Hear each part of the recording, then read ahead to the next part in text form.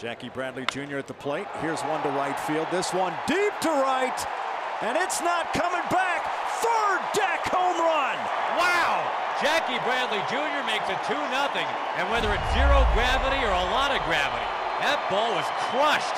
These fans are buzzing because you don't see him go up there that often. A third deck home run at Coors Field.